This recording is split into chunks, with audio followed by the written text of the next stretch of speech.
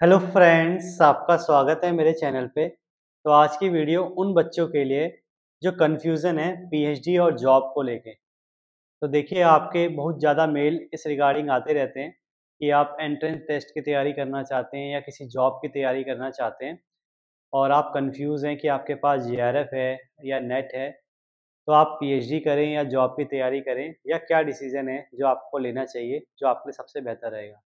तो आज मैं आपके इसी डाउट को क्लियर करूँगा और क्या मेरा एक्सपीरियंस है वो मैं आपसे शेयर करूँगा और क्या मुझे लगता है कि आपको करना चाहिए, वो मैं आपको गाइड करूँगा। तो चलिए शुरू करते हैं। तो देखिए, सबसे पहला तो यही डाउट है आपके मन में कि अगर आपके पास जे है या नेट है तो आपको पीएचडी की तरफ़ जाना चाहिए या नहीं? क्योंकि आपका जो मेन फोकस है, वो किसी एंट्रेंस टेस्ट की प्रिपरेशन में या किसी जॉब के एंट्रेंस टेस्ट की प्रिपरेशन में तो देखिए, उसके लिए मैं ये कहूँगा, अगर आप देख रहे हैं कि आपके जो एंट्रेंस टेस्ट है, वो नियर बाय है सिक्स मंथ में या वन ईयर के अंदर, और बहुत ज़्यादा चांसेस हैं कि 90 परसेंट वो अभी होंगे तो तब मुझे लगता है कि आपको थोड़ा सा ड्रॉप कर लेना चाहिए सिक्स मंथ का। पर हाँ अगर आप ऐसे एंट्रेंस के चक्कर में या ऐसे जॉब एंट्रेंस के चक्कर में जहाँ पे आप देखते हैं कि वो फाइव इयर्स तक भी नहीं हो पाते या दो साल या ढाई साल में जिनका प्रोसेस चलता है तो तब मैं आपको कहूँगा कि आपको पीएचडी में एडमिशन ले लेना चाहिए और साथ में इसकी प्रिपरेशन करनी चाहिए। क्योंकि देखिए देख ही रहे हैं आप जॉब में भी क्या होता है फॉर्म निकलते हैं और उसके बाद आप फॉर्म भरते हैं, फिर एग्ज़ाम बड़ी मुश्किल से होता है होता है तो कभी कभी कैंसिल भी हो जाता है कभी कभी नहीं भी होता है।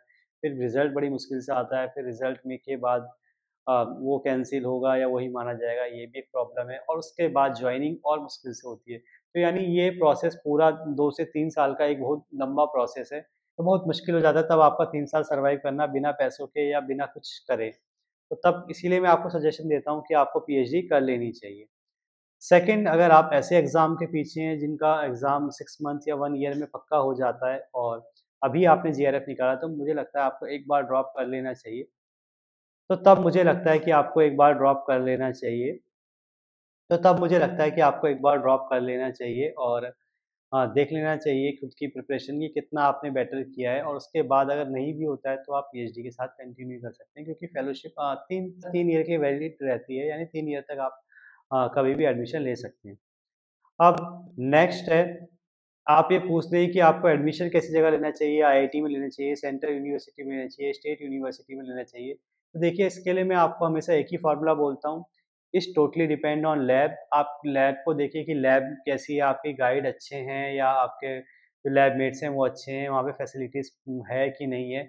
इसको देख के आप एडमिशन लें, ना रेदर देन आप central university state university IIT में एडमिशन लें। मतलब दोनों ही पर्पज से मैं कह रहा हूँ। एक पर्पज है कि आपको रिसर्च आपको रिसर्च को भी ऐसे मतलब बैकअप रखना है, या आपको प्रिपरेशन ही करनी है एंट्रेंस की और आपको ढूंढना है कि कहाँ पे अच्छी प्रिपरेशन हो सकती है, कहाँ पे कम टाइम लगेगा? तो देखिए, दोनों ही चीज़ों के लिए लैब मैटर करती है। अगर लैब अच्छी है तो मुझे लगता है आपका काम भी हो जाता है और आपकी प्रिपरेशन भी हो जाती है। और बाकी मैं तो ये कहूँगा, आप लैब को ज़्यादा वैल्यू दें। अब आते हैं मेन प्रॉब्लम पे एक और डाउट जो आप पूछते हैं कि अगर आप एडमिशन लें तो कहाँ लें? सेंट्रल यूनिवर्सिटी में लें, आईआईटी में लें, स्टेट यूनिवर्सिटी में लें, जहाँ पे आपकी प्रिपरेशन हो पाएगी या अगर आपको बैकअप भी लेना पीएचडी तो कहाँ पे लेना बेटर होगा? देखिए, उसके लिए मैं आपको कहूँगा it totally depend on lab. आपको लैब को देखना चाहिए, क्योंकि लैब इन्वायरमेंट अगर सही रहेगा, लैब मेट्स अच्छे रहेंगे, फैसिलिटीज़ रहेंगी तो दोनों ही काम आपके हो जाएँगे। एक तो अगर आप P H as a backup लेते हैं तो तो भी आपको एक अच्छी अपॉर्चुनिटी मिल जाएगी अच्छी लैब में और अगर आप प्रिपरेशन करना चाहते हैं और आपके गाइड अच्छे हैं लैबमेट्स अच्छे हैं और सारी फैसिलिटीज़ है तो आपका काम आराम से होता रहेगा और आप साथ में प्रिपरेशन भी करते रहेंगे। बाकी प्रिपरेशन का मैं ऐसा कहूँगा, अगर आप सीरियस है अपनी चीज़ों को लेके तो मुझे लगता है प्रिपरेशन हो ही जाती है, क्योंकि मैंने कई ऐसे कैंडिडेट या स्टूडेंट देखे हैं, जो बहुत टफ लैब में, जहाँ पे बारह से सोलह घंटे काम होता था, वहाँ पे भी उन्होंने जॉब क्रैक्स किए हैं और बहुत अच्छी जॉब्स में वो हैं और वो ग्रेड ए की जॉब्स कह सकता हूँ। नेक्स्ट है? आप ये भी जानना चाहते हैं कि अगर आपका नेट ही नेट हुआ है और जी नहीं हुआ तो क्या पहले आपको जी आर प्रिपेयर करके फिर इंस्टीट्यूट में एडमिशन लेना चाहिए फिर पीएचडी की तैयारी करनी चाहिए और फिर जॉब की तैयारी करनी चाहिए? तो उसके लिए मैं आपको कहूँगा देखिए अगर आपका नेट है या गेट है तो भी इनफ है आप पी में एडमिशन लेने के लिए आप पीएचडी में एडमिशन ले सकते हैं और इंस्टीट्यूट फेलोशिप आपको मिल जाएगी तो बेटर रहेगा। और साथ में आप तैयारी कर लीजिए जॉब की।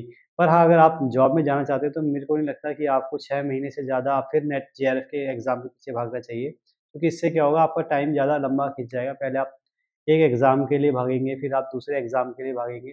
तो आजकल वैसे भी जॉब के एग्ज़ाम हो या कोई भी एग्ज़ाम हो, उसमें काफ़ी अनसर्टेनिटी आ गई है। टाइमिंग फिक्स नहीं है। साल भर भी लग जाते हैं किसी एग्ज़ाम को होने या ना होने में। तो इस चीज़ को आप ध्यान में दें। और अपने प्लान को फिक्स रखें और उसी में मूव करते रहें। मतलब ये देखें कि आपके लिए क्या बेटर रहेगा, उसे ही आप आगे बढ़ के चलें। मतलब सारी नावों में आप कदम ना रखें। इसी रिगार्डिंग मैं आपको एक एडवाइस पर्सनल एडवाइस अपने तरफ़ से शेयर करना चाहूँगा कि आप हमेशा एक परफेक्ट प्लान चुनते हैं। उसको भी आप थोड़ा उससे भी थोड़ा आप दूर रहें। क्योंकि देखिए परफेक्ट प्लान जैसी कोई चीज़ होती नहीं। जिन्होंने भी स्ट्रगल किया है और या जिन्होंने भी जॉब्स ली है और अच्छा किया है उन्होंने भी रिस्क लिया है तो थोड़ा रिस्क आपको भी लेना पड़ेगा।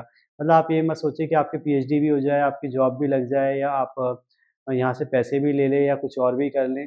देखिए, सारी चीज़ें एक साथ नहीं होती हैं। कभी कभी आप सारी चीज़ें करने की कोशिश करते हैं, कुछ भी आपको नहीं मिलता है। या आप कह सकते हैं थोड़ा थोड़ा आपको हर जगह से लेना चाहिए और बिल्कुल परफेक्ट नहीं ढूंढना चाहिए। कहीं ना कहीं आपको कुछ ना कुछ कमी मिल जाएगी, चाहे अगर आपको लैब अच्छी मिल जाएगी तो प्रिपरेशन आपकी इतनी अच्छी ना होगी। क्या पता प्रिपरेशन अच्छी है तो लैब अच्छी ना हो। तो यानी आपको एडजस्टमेंट के साथ ज़िंदगी में आगे बढ़ना है और सारी सिचुएशन में ढल के ही आपको खुद को प्रूफ करना है, ये कह सकते सक्सेस होना है। तो इस चीज़ को जानिए कि आपको लगता होगा दूसरों को देख के कि यहाँ पे बिल्कुल परफेक्ट कंडीशन है, ऐसा हो जाता तो मैं ऐसा कर लेता। और मेरी मानिए कोई भी परफेक्ट कंडीशन में नहीं है, सब अपनी जगह स्ट्रगल कर रहे हैं और जो भी सक्सेस हुए लोग, वो स्ट्रगल करके ही हुए और बहुत वर्ष सिचुएशन में जिसने अच्छा किया है, वही सक्सेस हुआ है। तो आप हर सिचुएशन को टैकल करना जानिए और बिल्कुल परफेक्ट प्लान के पीछे मत दौड़िए। तो इसी रिगार्डिंग एक और क्वेश्चन लास्ट में जो लूँगा, जो मेरे से पूछा जाता है, पूछा जाता है कि आप पीएचडी को क्यों रिकमेंड करते हैं जॉब के साथ? तो मैं देखिए, मैं आपको इसलिए बोलता हूँ, आपकी एज ज़्यादा है, हो जाती है लगभग जब आप तैयारी करते हैं पीएचडी की या किसी एंट्रेंस की। तो मुझे लगता है कि अगर आपके पास पैसे रहेंगे और पीएचडी में इस बार अच्छे पैसे हो गए हैं फेलोशिप में तो एक पैसा आपके पास रहेगा तो एक माइंड में कहीं ना कहीं एक सपोर्ट रहेगा और फाइनेंशियल सपोर्ट आपके पास रहेगा। आपको कोई किताब खरीदनी हो या किसी की हेल्प करनी हो या खुद की मदद करनी हो या कुछ लेना हो, खाना हो तो आप खुद के लिए कर सकते हैं। तो उससे क्या होगा कि आपका एग्ज़ाम की तैयारी अच्छे से होगी, पर अगर आप फाइनेंशियली इंडिपेंडेंट नहीं रहेंगे तो मुझे लगता है इस एज में आपको दिक्कत होती है, आप लोगों को देखते हैं और ज़्यादा परेशान होते हैं और पेरेंट्स भी आपके धीरे धीरे एज में बढ़ रहे हैं। तो आपको उनकी भी हेल्प करनी होती है। तो ज़्यादा आप उनके ऊपर बोझ नहीं रह सकते। तो इसीलिए मुझे लगता है कि आप पीएचडी और जॉब को पैरेलल लेके चलें और अगर आपका जो भी पहले हो जाता है, आप उसको चुन लीजिए और नहीं भी होता है तो आप जो भी कर रहे हैं, उसमें बेटर करने की कोशिश करिए। यानी दोनों को साथ ले जाना ही आपके बेटर रहेगा। आप किसी एक को भी चुन के दूसरे को छोड़ नहीं सकते। तो बाकी इसके अलावा अगर आपको कुछ पूछना हो या आपको कुछ और लगता है, आपको डिस्कस करना हो तो आप कमेंट बॉक्स में कमेंट कर सकते हैं या मुझे मेल कर सकते हैं। और आगे ऐसी इन्फॉर्मेटिव वीडियो देखने के लिए इस चैनल सब्सक्राइब करें लाइक करें और वीडियो को शेयर करें। Thank you